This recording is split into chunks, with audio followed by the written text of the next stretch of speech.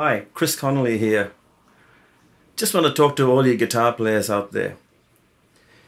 Gigging around town in the 70s and 80s, I used to get two, three gigs maximum out of a set of strings. And that kind of happened up till now.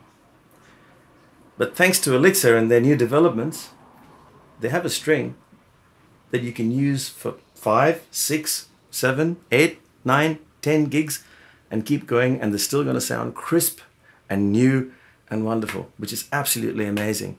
And it's great for guys like me who don't like changing strings.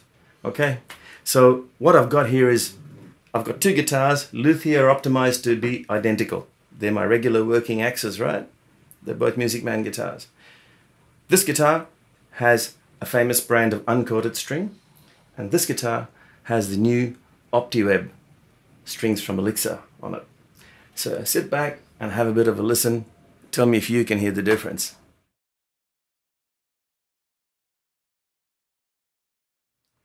Okay, so here we have guitar number two, set up with your favorite brand of uncoated strings, okay?